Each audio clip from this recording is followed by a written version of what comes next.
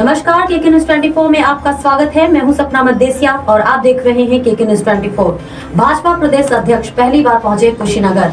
अखिल भारतीय चनौ पूर्वी महासभा सम्मेलन और किसान सम्मान समारोह में किसानों से हुए मुखातिब। खबर उत्तर प्रदेश के कुशीनगर से है, जहाँ पर कृषि बिल पर किसानों की आशंकाओं को दूर करने के लिए बीजेपी के प्रदेश अध्यक्ष स्वतंत्र देव सिंह कुशीनगर में आयोजित अखिल भारतीय चुनाव पूर्वी महासभा के सम्मेलन और किसान सम्मान समारोह में किसानों से मुखातिब हुए।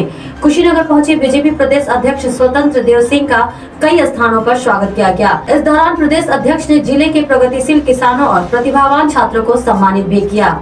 बता दें कि पडराना स्थित सृजन गुरुकुल में आयोजित कार्यक्रम स्थल पर प्रदेश अध्यक्ष ने ज़िले के प्रगतिशील किसानों और प्रतिभावान छात्रों को सम्मानित भी किया।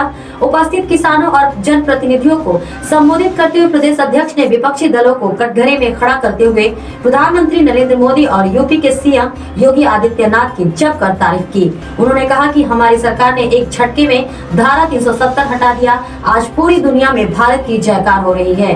नरेंद्र मोदी जी देश के बलिदानियों का सपना साकार कर रहे हैं। किसान सम्मान निधि 70 साल बाद आए, जिसमें एक रुपए का भी भ्रष्टाचार नहीं है।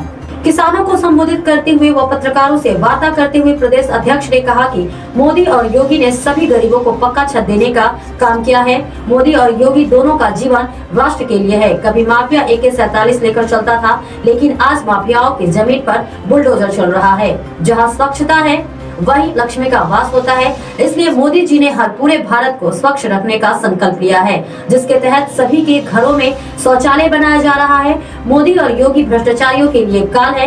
देश का गरीब जब तक खुशहाल नहीं होगा, तब तक चलते रहना है। देखिए कुशीनगर से विशाल श्रीवास्तव के साथ आदित्य प्रकाश श्रीवास्तव की ये रिपोर्ट।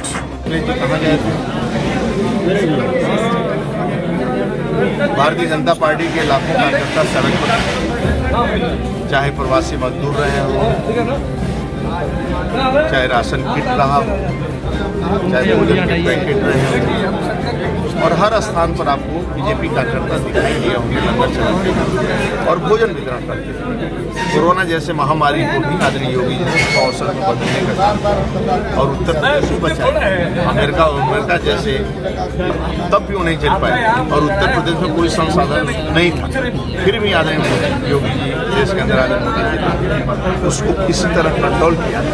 आज देश के अंदर, राज्य के अंदर। कंट्रोल है और छः महीना तक। यानी सभी के घर में गल्ला पहुँच जाए गरीबों को। फ्री में होता है कि काम धाम बंद करके मजदूर ऐसे घर आया है तो हो सकता है उसका रोज़गार कैसे चलेगा? तो संपूर्ण उसके भोजन की चिंता खाने की चिंता केंद्र और राज्य की सरकार सर राणा की बेटी ने सपा ज्वाइन किया? अच्छी बात है इसको मनोज ज्वाइन कर इसको जहाँ जाए जाए देखिए भारतीय जनता पार्टी की राजनीति ना व्यापार नहीं बिज़नेस नहीं, हम सरकार बनाते हैं, लूटने के लिए नहीं। बीजेपी के कार्यकर्ता ईमानदार है भाई दे तो वो ठेकेदार पट्टेदार के लिए काम नहीं करते हम जनता की सेवा, संगठन, सरकार दोनों मिलकर जनता की सेवा के लिए समर्पित हैं। उसकी उसका पक्का मकान कैसे हो?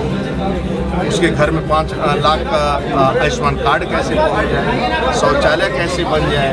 बिजली का कनेक्शन कैसे मिल जाए? किसान सम्मान निधि उसके खाते में पहुँच जाए किसान क्रेडिट कार्ड पर लोन मिल जाए उसको लगता है कोई बिज़नेस करना है तो उसको रोज़गार मिल जाए और गुंडे माफिया जेल के अंदर हो तो राज्य चलाते हैं और राज्य को खराब करने नहीं आते। आपने सपा बसपा को देखा है उनकी क्या तुलना हो सकती है? ग्राम पंचायत चुनाव हाँ आपकी अच्छी बात है पंचायत चुनाव की भारतीय जनता पार्टी द्वारा संपूर्ण तैयारी है राज्य के अंदर टीमें बना दी गई हैं। क्षेत्र की टीमें बना दी गई हैं। मंडल के भी संयोजक ग्राम के संयोजक भी तैयार कर दिए गए अब जिस दिन सरकार घोषणा चुनाव की कर देगी, संपूर्ण उत्तर प्रदेश के कार्यकर्ता भारतीय जनता पार्टी के कार्यकर्ता, जिला पंचायत लड़ाने के लिए तैयारी नहीं जिला पंचायत अभी अभी वो कोई चर्चा नहीं है जिला पंचायत अध्यक्ष जी अध्यक्ष जी एयरपोर्ट को आप अपनी उपलब्धि बता रहे हैं। अफसरशाही वहाँ है देखिए किसी किसानों के दमनकारी नहीं होगा। और जो किसान के हित में होगा वही निर्णय लेंगे। और जो देश के हित में राज्य के हित और जनपद के हित में होगा वही